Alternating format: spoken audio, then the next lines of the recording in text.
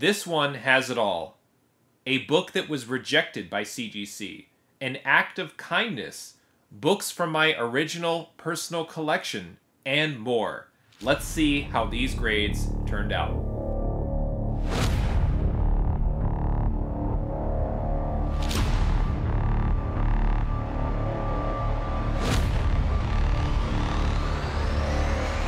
Hey there, today I have a CGC unboxing video, and in this video I'm going to open up 16 books that I got professionally graded by CGC that were cleaned and pressed by Palm Beach Presser. Now I talk a lot about process, I talk a lot about uh, how I acquire books and the things that I look for, but I just want to unbox this and look at the slabs. I'm excited to get this one back.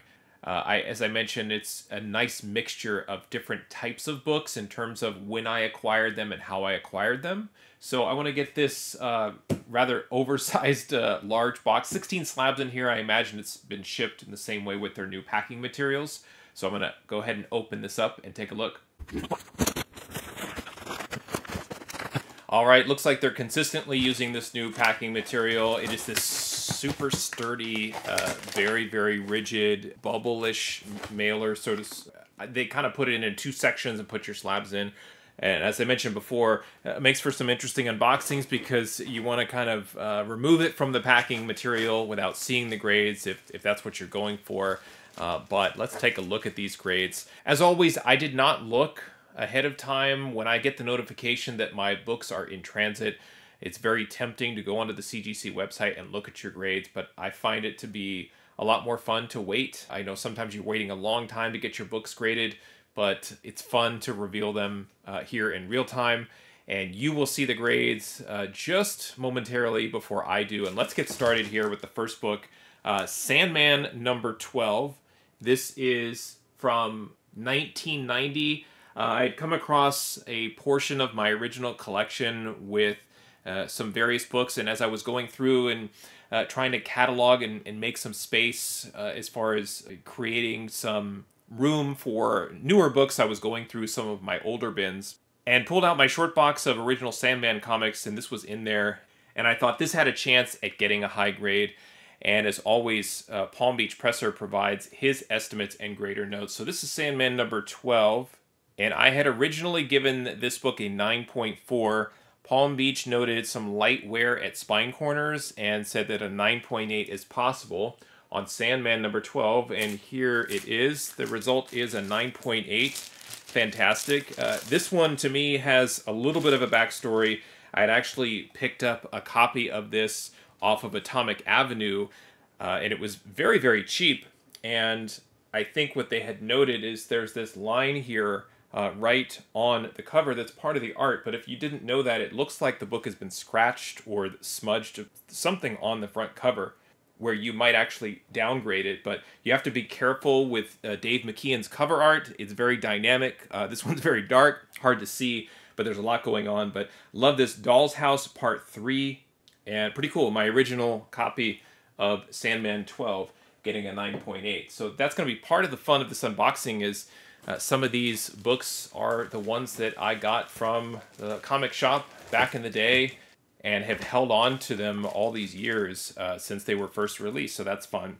Uh, here's another one uh, Green Lantern, number 51 from 1994. Also, another book that, I mean, I vividly remember going into my LCS and seeing this and not being the biggest DC fan when I first got into comics and slowly got into it, uh, and then really became a fan around the death of Superman storyline, the reign of Superman, and all, all of that hype that, that ran through comics at that time, and started to explore getting into uh, Batman, Wonder Woman, and Green Lantern, of course. And this was right around the time Kyle Rayner first appeared and became Green Lantern.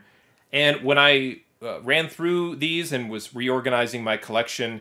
I had pulled this one out and graded it, and I gave it a 9.6. I thought it was a really strong, high grade copy. Uh, Palm Beach Presser has no notes other than 9.8 likely. So let's see Green Lantern number 51 from 1994, uh, getting the 9.8. And it's noted on the label the first appearance of Kyle Rayner's new costume. So the new Green Lantern, uh, if you will, right around the time that Hal Jordan became the villain. There's the whole Parallax storyline and so forth. And remember buying this one and holding on to it, uh, at picking up from the LCS. So it's a little bit extra special and kind of fun to see some of these original books uh, getting a 9.8. And for me personally, it's a testament to how I took care of my collection. Really happy that I was able to store them in a way that gave them a chance at getting a 9.8. Okay, the next book, another one, Green Lantern 49. This is a cover that has been homaged over the years. It's definitely a fun Hal Jordan cover. Uh, another book I picked up directly from my LCS. Uh, this book is from 1994. I had given this comic a 9.4. Also, no grader notes from Palm Beach Presser, and he noted this one is 9.8 probable. Not likely, but probable. So pretty confident, uh, more confident in this one. Let's see, uh, Green Lantern 49, and it got a 9.6. Uh, so didn't get the 9.8, and I'll give it a quick look just to see why it didn't. Um, could be a little bit of corner whitening down here. The front looks just fine. Yeah, I mean, hard for me to tell exactly why it got a 9.6. Uh, it could be, in fact, both corners, top and bottom, have a little bit of whitening on it, but really not much. But I would say under normal circumstances, maybe this does get a 9.6 or it, it is deserving of the 9.6.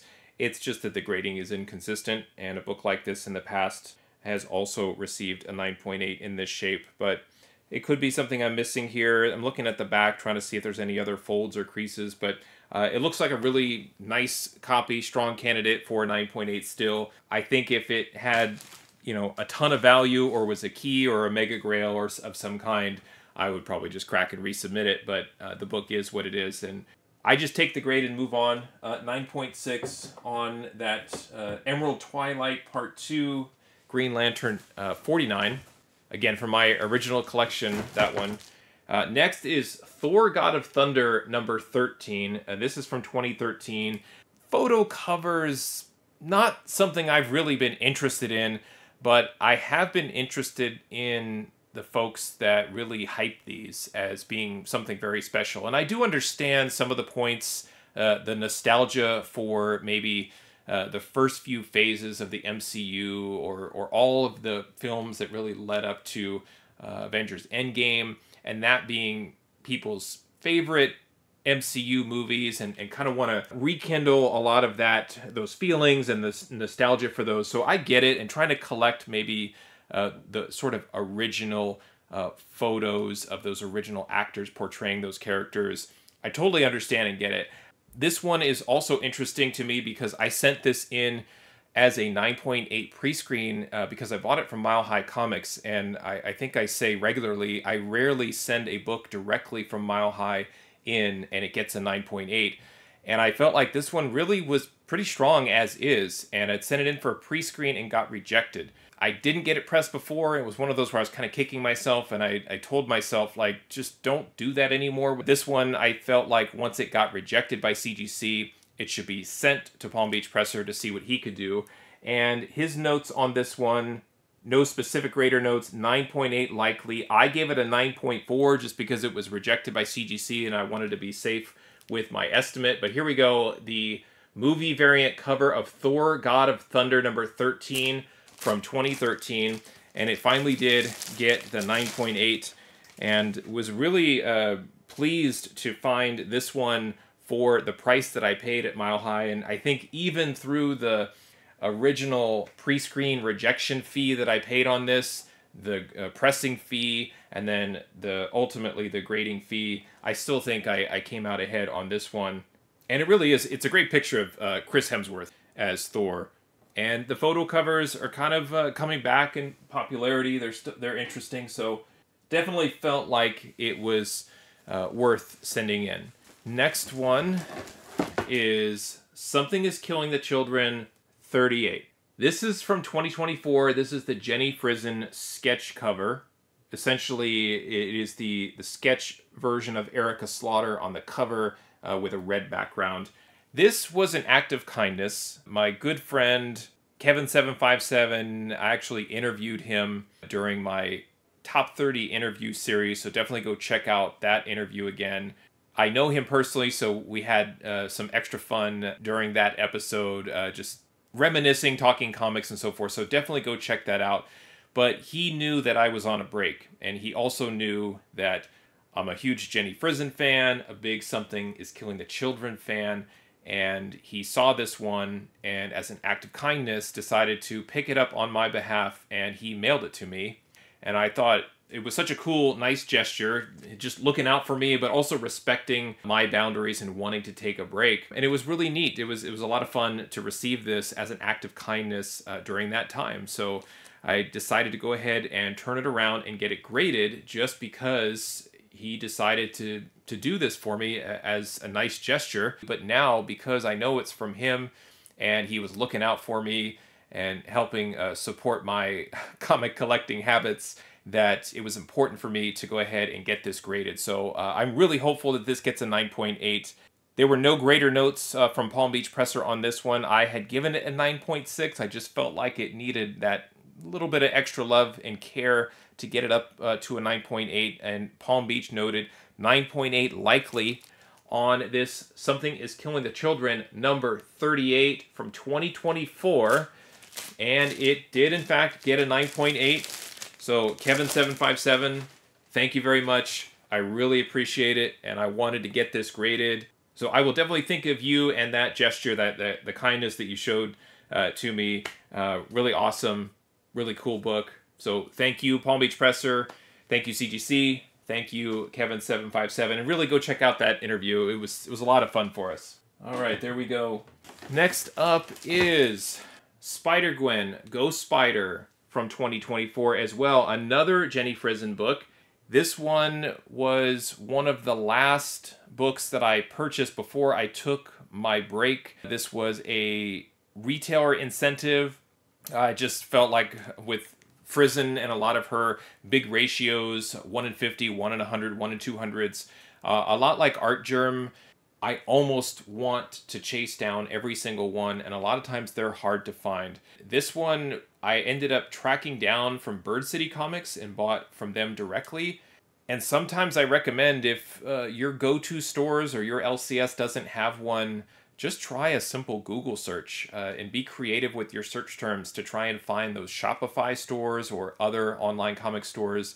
A lot of the stores that you think exclusively have retailer exclusives, and, and that's kind of what they deal in.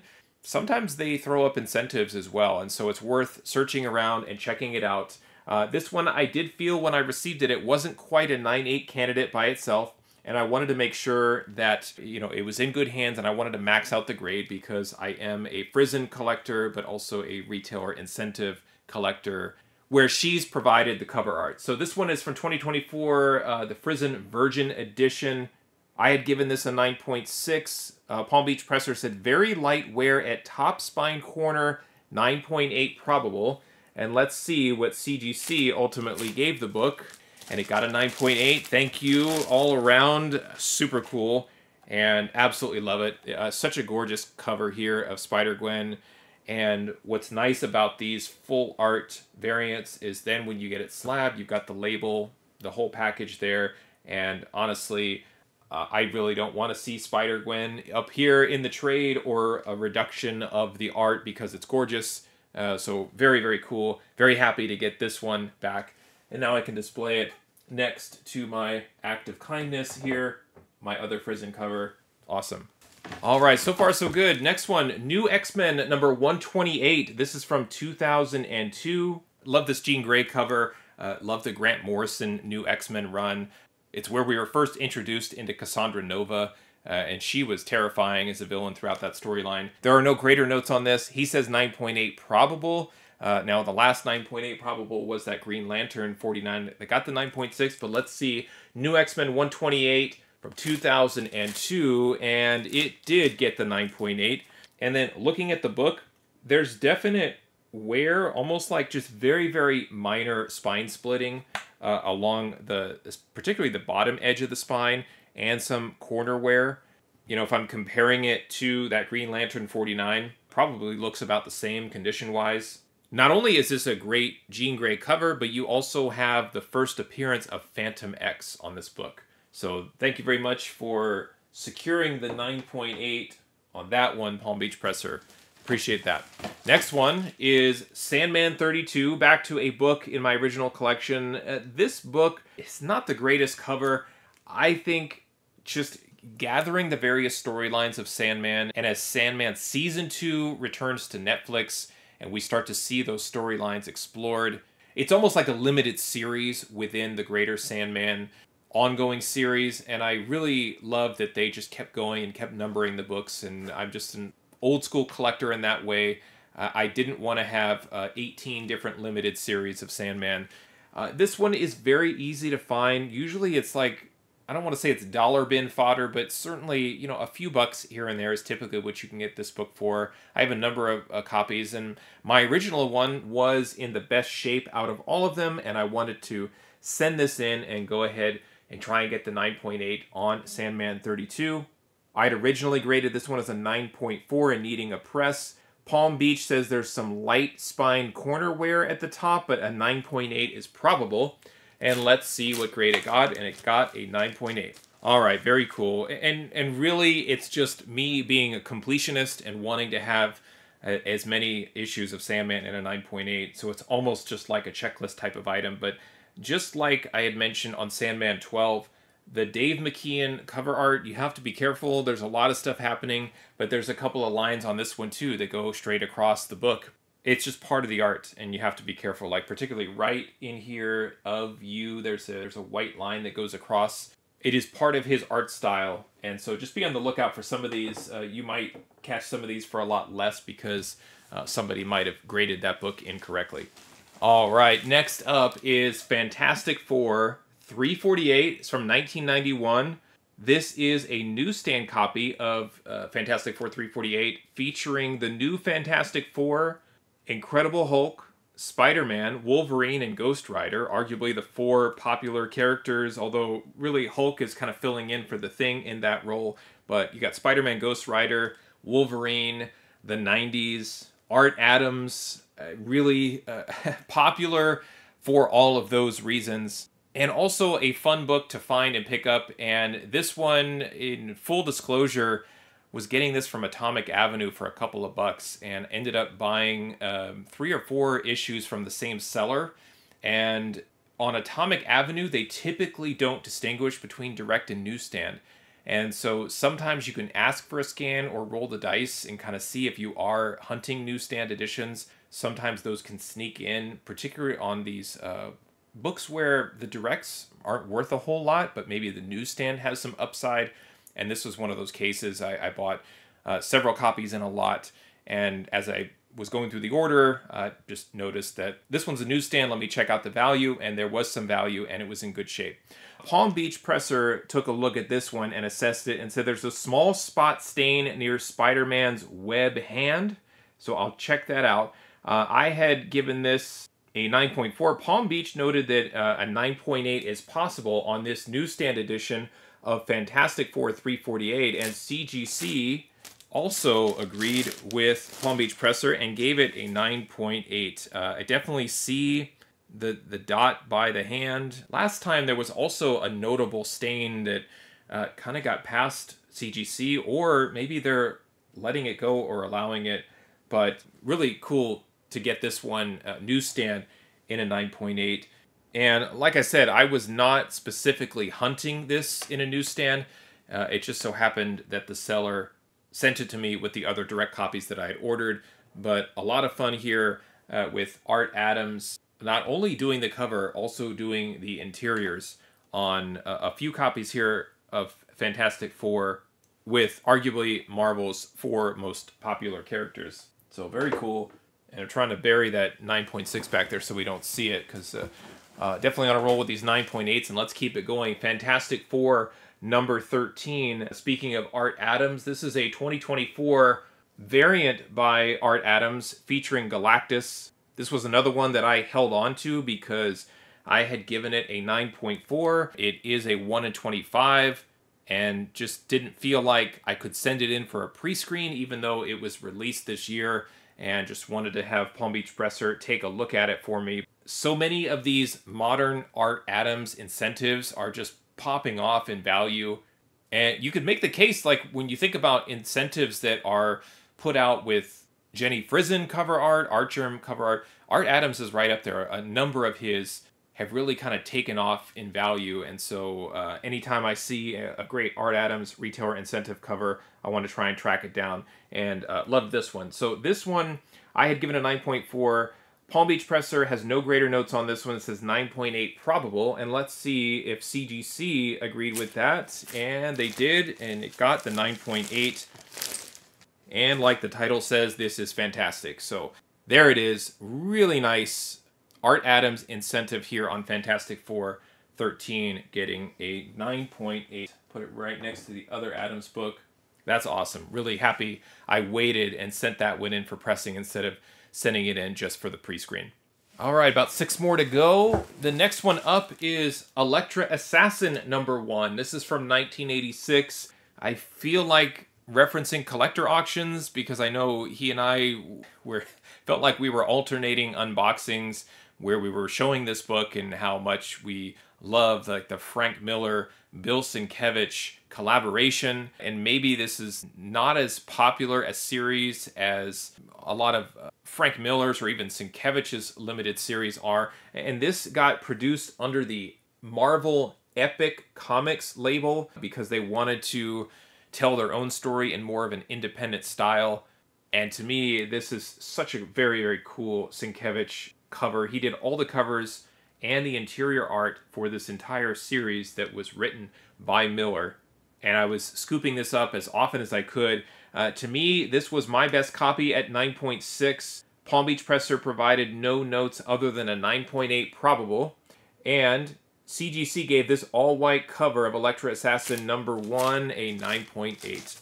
I think my only regret is that I didn't include this when I got my other books signed by Frank Miller when he was there for the Wolverine signing. Probably should have timed it better to also get this one signed. A lot of space for his signature on this one. It would have worked out anywhere over here to get the FM line all the way across. But uh, super cool, super happy to get uh, Elektra, uh, the, the first issue of this eight issue limited series back in a 9.8 all right, great work so far. The next one, Spider Gwen, the Ghost Spider, number one, 2024. This is the regular Jenny Frison cover, and you can see there it is, the trade that goes across Gwen's forehead.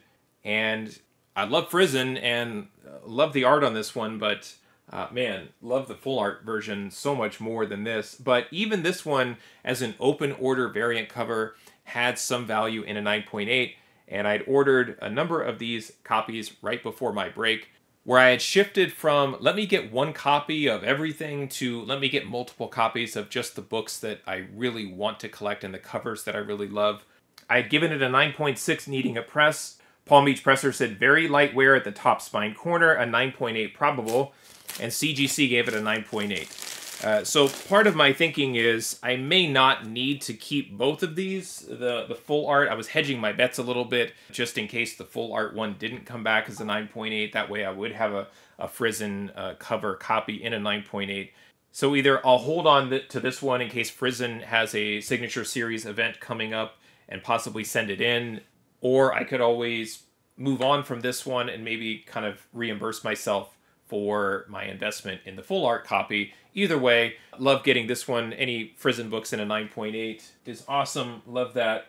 And it's always fun to take in a pre-order for an open order book where that open order book uh, pops a little bit and you see some actual transactions and sales occur and there's a little bit of upside to getting that book graded. Really nice to get that one back in a 9.8 as it probably wouldn't have much value if it wasn't. Here is Star Wars number 9 this is from 1978. And I don't want to say I'm going to start my run of getting a, a full set of the original Star Wars Marvel series graded. However, it sort of feels like I'm doing that anyway. It's kind of like when I say I'm not a Conan collector and then I've got a few issues of Conan in, in every unboxing. I'm a huge Star Wars fan. The original Star Wars comic series was a little before my time. To me, it felt like it was just an unattainable set of comics and the values have kind of gone up and down over the years. They were overlooked, they were actually shunned and not really considered canon or, or uh, really all that interesting. And then recently it's come back around, and there's been a lot of acceptance of uh, the original Star Wars series. So just going through and collecting as many of the raw books that I can, and, and some of the keys even and then trying to figure out, you know, then as I have several copies of a particular issue, try to find the best one and see uh, what we can do to send it in for grading. Uh, this one I had actually given a 9.2, but I thought it had some potential. No grader notes on this one, so this is exciting. A 9.8 probable. Well, let's see, Star Wars number 9 from 1978, and CGC gave it a 9.2. Wow, okay. So let me take a look. Uh, very odd looking at the book, and that's wild. I mean, there is a, a dog ear at the bottom that broke color. Uh, the back looks super nice. I mean, if I'm just looking at the back cover, uh, looks like a 9.8 all day long. It looks really, really nice. But I think they punished this one just for this bottom right corner that had a, a little bit of a, a color break down in here. I'm really shocked to see this one go all the way uh, from what we thought was a 9.8 after Palm Beach took care of it uh, down to a 9.2. But uh, yeah, that's a bummer. Uh, this one, uh, very typical uh, of CGC not to put any real notes of significance unless it's a major, major character first appearance. Uh, this is, I believe, the first appearance of the Cloud Riders. Cloud Riders appeared in the Solo movie, and there's no mention of Cloud Riders here on the label just of some general uh, character appearances and a Star Wars pinup by Howard Chaykin. So that's too bad. 9.2 on this one. So now, of course, I'll probably be obsessed with finding a higher grade copy to send in. But we move on to the next book, and it is Star Wars 98. Uh, this is from 1985. This is the newsstand edition. As you can see, the barcode this one I gave a 9.4. Uh, Palm Beach did have grader notes on this one. Light wear at spine corners. And he did say 9.8 probable. Uh, let's see if we can recover and get a better grade than a 9.2 on this one. And CGC and everybody involved did recover on this nicely to get the 9.8 white pages. And I thought this was fun because it is a painted cover by Bill Sienkiewicz you know, you don't think necessarily Star Wars when you think of Sienkiewicz. I always think of Elektra Assassin, New Mutants, particularly this style that he developed when he joined New Mutants, where he kind of went from his Neal Adams style into this whole new direction that I think a lot of people remember Sienkiewicz for specifically. But just a tremendous cover artist over the years and a lot of fun to get him on a Star Wars book. And so there it is, Star Wars 98, the newsstand copy, uh, getting a 9.8. So that's better. And I'm going to cover that 9.2 as if it never happened. All right, the next book is Spider-Man versus Wolverine number one. This is from 1987. This is the newsstand edition. And if you've watched some of my unboxings in the past, or probably future unboxings as well, I have talked about this book and I don't really know if it's like a right place, right time, right moment, right age as a comic book collector. This is my original copy. This is the book that I picked up off of the spinner rack. Uh, after I reveal the grade, I'm going to check and see if it has that little crease right by the, the price box that, if you can imagine the, the spinner rack and how the books would kind of fold over as, you're kind of looking through the books. For whatever reason, uh, just the creators the characters, the story, the the double-sized issue.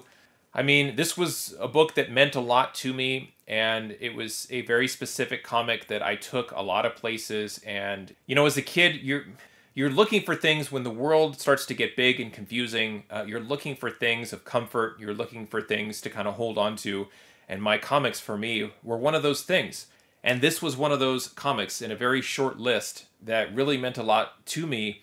And anytime I would take a trip in the car or had to stay over somewhere, um, this was a book that I grabbed out of my bin and I put in my backpack and I took with me. So this book means a lot to me. It means a lot that uh, Palm Beach was able to work on it. Frankly, I don't care about the grade. I just wanted to preserve it and maximize the condition as best everybody could in the process. I had given this originally a 9.0, so I just felt like after all these years and all the times I read through this, uh, you could definitely argue this was my reader copy.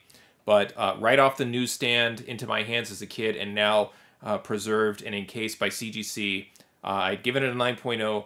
Palm Beach noted a number of defects, not surprised. Light wear at spine corners with color loss, color rub on the back cover at the reader's edge, light color breaks at the back spine. He did estimate, even with all of those things, a 9.6 slash 9.4, and CGC decided to grade it a 9.6. And I think that's a very fitting grade, actually a very surprising grade uh, for as much as this book was handled to get a 9.6. Uh, one of the other books on the same list for me is Amazing Spider-Man 300. Uh, it was right there. I can almost picture them stacked on top of each other where I was taking them everywhere.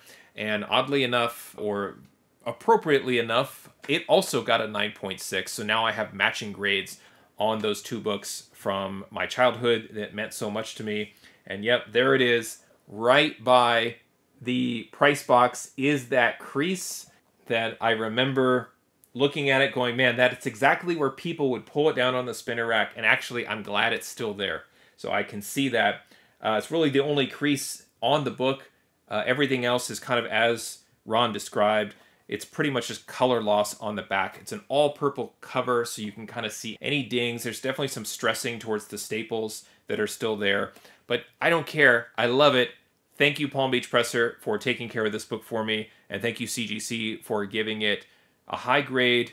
And now I have my childhood copy of Spider Man versus Wolverine number one in a 9.6, the newsstand edition. Love it. That's awesome. All right, one more to go, and uh, I'll make it quick. We've got Sandman 58 from 1994. This was a book that I had also picked out from my original collection as I was trying to complete a full run of Sandman. Thought this was in high grade, kind of the same story, just building out a full set of Sandman comics as I love the story, love the series. Palm Beach noted light wear at the bottom spine corner with color loss on this one. I had given it a 9.4 and thought it just needed a little bit of help uh, and, and attention to get it to a 9.8. And CGC also gave it the 9.8 on this one. So very good. Very happy to get this one at a 9.8 as well to hopefully continue on the journey of collecting all the as many books, I guess, in the Sandman series as possible. And that's it. That's a, a, a pretty nice 16 book submission, most of them getting 9.8s. Thank you, Palm Beach Presser, once again for spending the time and working on my books. I, I truly appreciate it. Palm Beach Presser, you can check them out at palmbeachpresser.com. Does great work. Uh, can't recommend him enough for not just working on your books, but but trusting him with your uh, prized possessions as I have. I mean, I'm sending him books from my childhood. Uh, that's it's a one of one. It's a unique copy, and uh, pretty cool that uh, this is a really nice assortment of books that uh, hopefully I won't get too emotional about, but just thinking about from my original collection, one of my all time favorite books, a one in a hundred retailer incentive, and of course, The Act of Kindness from Kevin757. Just a, a pretty special and, and neat collection of comics, and not for me, just your ordinary CGC unboxing. So, a, a really, really fun submission there, and I hope you enjoyed it. Thanks for watching. Happy collecting, and see you next time.